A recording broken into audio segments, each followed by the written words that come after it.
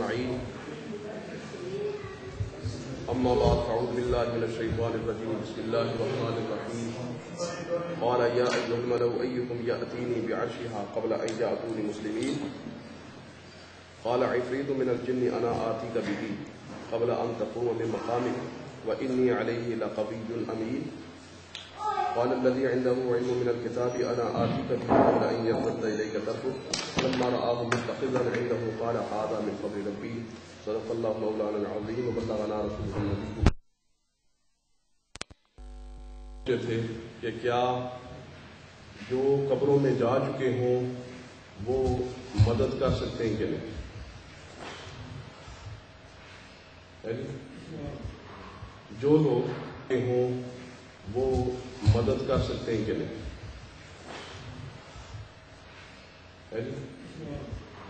جو لوگ بندے اللہ کے نبی رسول خبروں میں جا کیا وہ اس قابل ہوتے ہیں کہ نہیں کہ وہ دنیا کے لوگوں کی مدد کر سکیں؟ یہاں پر مسئلہ پہنچا تھا۔ اس سلسلے میں میں نے یہ بات آپ کی خدمت میں عرض کی تھی کہ جو لوگ دنیا میں جیسے کام کرتے رہے ہوں، ان کے وہ کام قبر میں بھی جاری رہتے ہیں۔ اور پھر یہ کہ خاص قبر کے حالات قبر کے حوالے سے میں نے ایک مثال آپ کے سامنے پیش کی تھی کہ حضرت موسیٰ علیہ السلام قرآن مجید فرقان حمید بتاتا ہے کہ لوگوں کے مسئلے حل کرتے رہے، ان کے لیے، ان کی دعا کے ہاتھ اٹھتے تھے تو اللہ تعالیٰ ان لوگوں کے مسائل حل کر دیتا تھا۔ اس دنیا سے جانے کے بعد بھی انہوں نے ہمارا ایک مسئلہ حل کیا کہ پچاس نمازوں کو پانچ نمازیں ان کی برکت سے ہوئی وہ حدیث بخاری شریف کی آپ کے سامنے پیش کی۔ تو اس کے بعد آپ دیکھیں کہ حضرت امام حسین السلام ان کا تذکرہ جب کیا جاتا ہے تو یہ بات کتنی مشہور ہے کہ حضرت امام حسین نے نیزے پر بھی قرآن مجید فرقان حمید کی تفسیر فرمائی ہے۔ یہ بات تو ہے نا؟ اب عام بندہ سوچے تو بندہ کہے کہ یار یہ تو بڑی مشکل بات ہے، یہ کیسے ہو سکتا ہے؟ تو یہاں میرے پاس اتفاق کر اس وقت میں اس مضمون پر بات ابھی نہیں کرنا چاہتا تھا، لیکن یہ میرے سامنے یہ شرح الصدور ہے امام جلال السیوتی کی۔ اس کے اندر انہوں نے صفحہ ایک سو چھیاسی کے پر ون ایٹی سکس پر انہوں نے یہ واقعہ لکھا ہے، بتایا ہے، روایت کی ہے۔ ون ایٹی سکس پر۔ اور اس کو انہوں نے ابن اساکر کے حوالے سے بیان کیا۔ کہ ابن اساکر نے یہ بات بیان کی ہے، وہ کہتے ہیں کہ منحال بن عمر یہ اس کے راوی کہتے ہیں، انا واللہ رأیت رأس الحسینہ رأیت رأس الحسین۔ میں نے حضرت امام حسین علیہ السلام کے سر کو خدا کی قسم میں نے خود دیکھا حینا حمیرہ جس وقت اس کو اٹھایا گیا تھا وہ انا بدمش میں خود دمشق میں تھا میں خود دمشق میں تھا یعنی جس وقت حضرت امام حسین السلام کے سر مبارک آپ کو قتل کیا گیا اور آپ کے سر کو نیزے پر چڑھایا گیا اور اسی نیزے کی حالت میں امام حسین السلام کا سر مبارک وہاں دمشق میں ہے، کہتے میں نے خود دیکھا۔ وہ بین یدین راس رجل، ایک شخص اس سر کے سامنے قرآن مجید فقان حمید کی سورہ تھا، حتیٰ بلغا قولی تعالی۔ جب وہ اللہ تعالیٰ کے جو ارشاد مبارک ہے قرآن میں سورہ کاف کے اندر اس ارشاد پر پہنچا ام حسدتا ان اصحاب الکاف والرقیم کانوا من آیاتنا عجبا کہ کیا تم گمان کرتے ہو کہ اصحاب کاف اور رقیم جو ہیں وہ اللہ کی بڑی عجیب نشانیوں میں سے ہیں؟ تو قالا اس وہ حضرت امام حسین السلام کا جو سر مبارک ہے اس سے آواز آنے لگی۔ آپ فرمانے لگے آ جب وہ من اصحاب الکاف قتلی و حملی. کہ اصحاب کاف کے مقابلے میں میرا قتل کیا جانا اور اس کو سر، اس کا سر، اس کو لیزے پہ چڑھایا جانا، وہ اصحاب کاف سے بھی زیادہ حیران کن بات اب حضرت امام حسین علیہ السلام، یہ اس دنیا سے جانے کے بعد آپ کا جو باقی باڈی ہے، یہ ہے کربلا میں اور سر ہے دمشق میں۔ کتنا فاصلہ ہے۔ لیکن جو لوگ زندگی میں حق کی بات کرتے رہے، سر کے تن سے جدا ہو جانے کے باوجود، سر اور تن کا آپس میں کئی سو میل کا فاصلہ ہو جانے کے باوجود بول رہا ہے۔ اس لیے یہ بات سمجھنی چاہیے کہ جو اللہ کے بندے ہوتے ہیں ان کو بولنے کے لیے نہ اس زبان کی ضرورت ہے، نہ اس زندگی کی ضرورت ہے۔ اس کو آپ زندگی سمجھ بیٹھے یہ عقل سے بڑا بات ہے۔ یہ واقعات انشاءاللہ میں آپ کے سامنے پیش کرتا ہوں۔ یہ شروع صدور والے جو امام جلال السیوتی ہیں، وہی لکھتے ہیں جنگ ہرا کا واقعہ کہ جس وقت یزید کی فوج نے مدینہ طیبہ پر حملہ کیا تھا اور تین دن تک مدینہ طیبہ کی اینٹ سے اینٹ بجائی تھی اور مدینہ طیبہ کی بے حکمتی کی تھی اور نبی پاک علیہ صاحب السلام کے شہر کی وہ پاکیزہ لڑکیاں جو ہیں وہ ان کے ظلم سے اور ان کے ستم سے وہ محفوظ نہیں رہ سکی تھی۔ ایسے دنوں کی بات حضرت سعید بن مسیب فرماتے میں مدینہ طیبہ میں نبی پاک علیہ السلام کی مسجد میں سرکار کے حجرے کے پاس تین دن تک میں وہاں چھپا رہا، وہاں بیٹھا رہا۔ تو میں کیا دیکھتا رہا کہ تینوں دنوں میں، پانچوں وقتوں میں مجھے نبی پاک علیہ صاحب السلام کی قبر اثر سے آزان کی آواز بھی آتی تھی، اقامت کی آواز۔ اب پانچوں وقتوں میں یہ وقت کی پابندی تو اس دنیا میں ہے۔ اس دنیا میں پانچ وقت کی پابندی کرنے کا کیا مطلب ہے؟ وہ تو دنیا ہی اور ہے۔ پر سعید بن مسیب جو ہیں، جن کو آپ سید التابعین کہتے ہیں، سب سے بزرگ تابی کہتے ہیں، وہ روایت کرتے ہیں۔ اور امام جلال سیدی اس کی روایت اپنی بات اپنی کتاب میں لکھتے ہیں اور حضرت ابو نعیم، ان نعیم جو ہیں، ان کے دلائل النبوہ کے حوالے سے انہوں نے یہ بات لکھی ہے کہ حضرت سعید بن سعید بن المسیب تین دن تک نبی پاک علیہ سات وسلام کی قبر اتھر سے آزان کی آواز سنتے پانچوں وقتوں اب جس نے ساری سرکار نے فرمایا نا، میری آنکھوں کی ٹھنڈک نماز ہے۔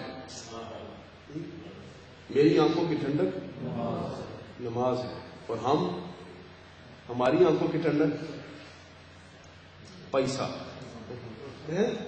غلط تو نہیں کہوں گا نا؟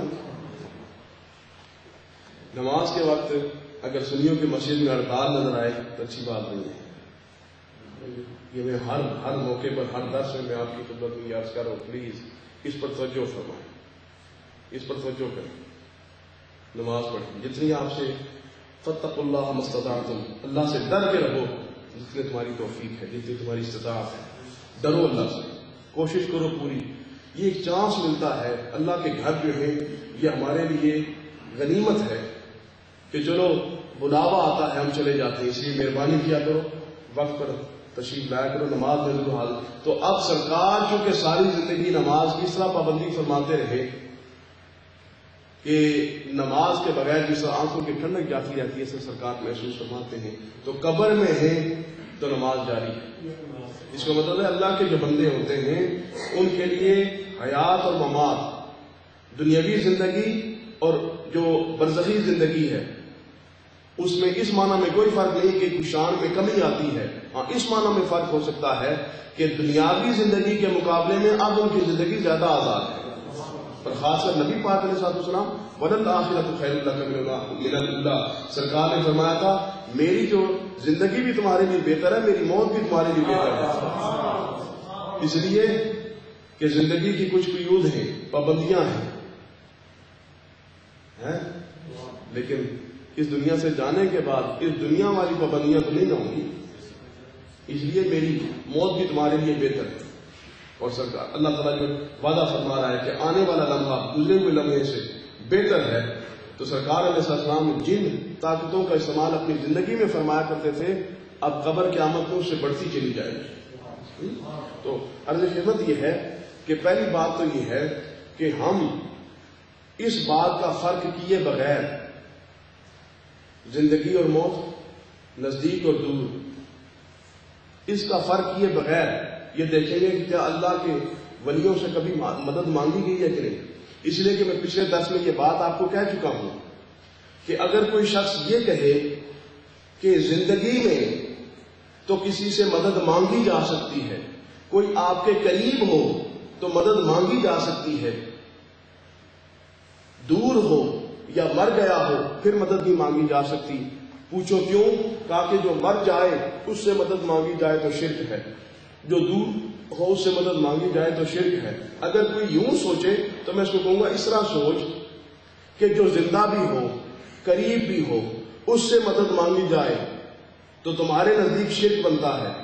اور جو دور ہو، جو زندہ ہو اور قریب ہو، اس سے مدد مانگی جائے تو شرک نہیں بنتا تمہارے نزدیک۔ جو دور ہو یا مر گیا ہو، اس سے مدد مانگی جائے تو شرک ہے۔ میں سوال کرتا ہوں۔ مرنا اللہ کی کوئی صفت ہے؟ دور ہونا اللہ کی کوئی صفت ہے؟ دور اللہ تو کسی سے بھی دور نہیں ہے۔ اللہ دور والوں کے بھی پاس ہی ہے۔ نہ کبھی اللہ مرے، نہ اللہ کبھی کسی سے دور ہو۔ تو دور والے سے مدد مانگنا شرک کیسے ہو جائے گا؟ جبکہ اللہ تو دور ہے ہی شرک اسی بات کا نام ہے نا کہ اللہ کی ذات و صفاتوں اسماع و افعال میں کسی کو شریک کیا جائے تو پھر شرک ہوگا۔ اللہ دور ہے ہی نہیں جو دور والے سے مدد مانگے تو شرک کیسے ہوگا؟ اگر ہم کسی کو دور سمجھ رہے ہیں تو اس کا مطلب ہے ہم اللہ کی صفت میں تو شریک اسے جان ہی نہیں رہے۔ اور اگر ہم یہ بھی کسی کے بارے میں عقیدہ رکھ رہے ہیں کہ وہ مر گیا تھا، اس کو موت واقع ہوئی تھی۔ دنیا سے منتقل ہو کے، انتقال ہو گیا تھا، دنیا سے چلا گیا ہوا ہے۔ تو ایسا شخص بھی خدا تو ہو ہی نہیں سکتا۔ خدا کی صفت میں شریک، کیونکہ اللہ کو تو کبھی موت آنی نہیں ہے۔ یہ ہم تم سے سوال کریں گے، اللہ زندہ بھی ہے، اللہ قریب بھی ہے، اور تم کہتے ہو زندوں سے قریبوں سے مدد مانگو شرک نہیں ہوتا۔ ہم تم سے سوال کریں گے۔ بات سمجھ آئی کہ نہیں آئی؟ اور یگسٹر آر یو لسننگ غور کریں کہ people they they will ask you look you are seeking help from outside they are in برداشت you are here How can they listen you? Listen to you? How can they help you when they are far? They are away from you. They are not in position to help you. So if you seek help from a person who is far, far, far away from you, then you are doing, you are committing shirk. If you seek help from a dead body, you are doing shirk, you are committing shirk. So we will ask him, why? Why this shirk? Shirk is a thing when you believe that a person can be the sharer or partner of Allah subhanahu wa ta'ala in his zaat, in his attributes, or in his names, then you can call him a mushrik. But look, Allah ta'ala never died. Allah ta'ala is never, never away from anyone. He is not far from uh, anyone. He is closer to everyone. He never died. So how? Why do you say that a person, when you are seeking help, help from a dead body, a person who is far away from us, he can be God? No. This is wrong thinking. When you say you can seek help from a person who is near to you, who is closer to you, or he is alive, then we will say, yes, this is the attitude of Allah subhanahu wa ta'ala, that Allah ta'ala is always, He is alive, and He is closer to you. So you are asking a person who is closer to you and he is alive as well. So now we can think, oh, this can be shirk. Why? Because this is the attribute of Allah subhanahu wa ta'ala. This is the sifat of Allah subhanahu wa ta'ala that Allah ta'ala is closer to you and He is living all the time. He is alive. So one can think that this can be the shirk. Why? Because Allah is alive. Allah is closer to you and you are seeking help from someone, else, someone else, having a belief that he is closer to me and he is alive. So which is shirk then?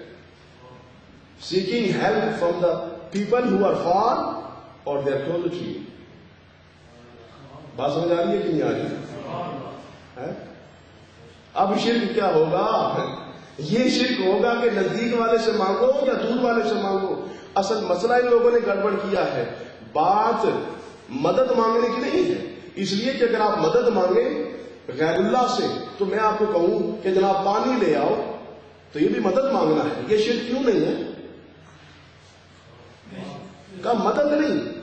جب آپ اللہ کے علاوہ کسی سے دعا مانگیں، وہ قریب ہو یا دور ہو، جب کسی کو اس قابل سمجھے کہ یہ دعا اس سے کی جاتی ہے، اگر دعا کسی سے مانگیں تو یہ شرک ہے، چاہے وہ قریب ہے، چاہے وہ دور ہے۔ سمجھ آ ہے؟ کیونکہ دعا مانگنا یہ اللہ کا خاصہ ہے۔ کسی اور سے دعا نہیں مانگی جا سکتی۔ کسی اور کی عبادت نہیں کی جا سکتی۔ یہ اللہ کا خاصہ ہے۔ دعا کسی سے؟